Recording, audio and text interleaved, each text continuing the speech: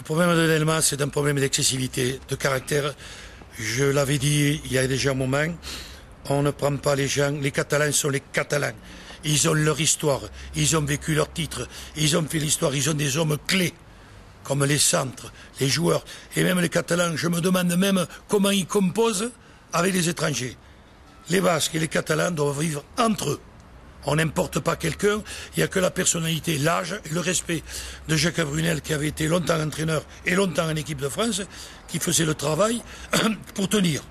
Il y a des joueurs, les Catalans vont se, vont se réveiller et vont repartir. Parce que c'est une magnifique région, magnifique euh, tempérament et magnifique aussi euh, solidarité entre les joueurs dans le combat. Et moi, j'aime ça. Et particulièrement leur grand pilier droit.